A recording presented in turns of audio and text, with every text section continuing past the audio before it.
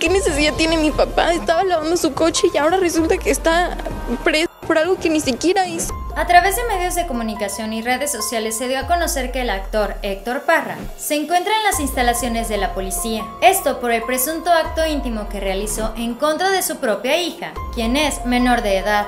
En octubre del año pasado, esta jovencita interpuso una declaración en su contra. Y aquí te platicaremos de todos los detalles. No te puedes perder de este video. ¡Bienvenidos!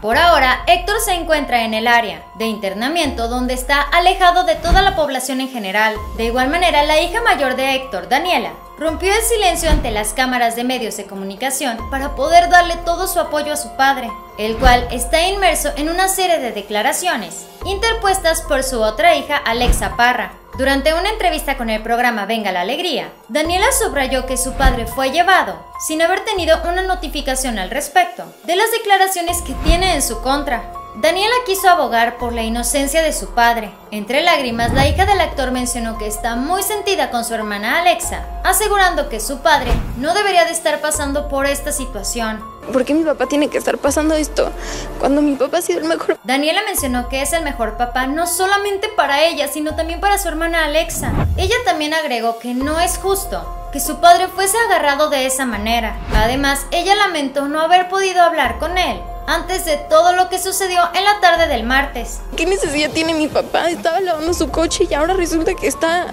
preso por algo que ni siquiera hizo. En esta misma entrevista con medios de comunicación, Daniela agregó que ella junto con una amiga del actor están bien al pendientes de toda la situación. Además, no quiso despedirse sin asegurar que le tiene muchísimo sentimiento a su hermana Alexa y a Jenny Hoffman, por si fuera poco, dijo que no reconoce a la mujer en la que se convirtió su propia hermana. Con sus propias palabras, ella mencionó. Esa mujer que está ahí no es mi hermana. Yo no la conozco. Mi hermana se quedó en el pasado. Para casi finalizar con la entrevista, Daniela comentó que Alexa sabe perfectamente cómo es su papá, cómo él ha fungido esa figura paterna para ambas durante toda su vida y que precisamente por esta misma razón, él no debería de pasar por este percance. Ella sabe cómo es mi papá. Tengo mucho coraje con ella y con su madre.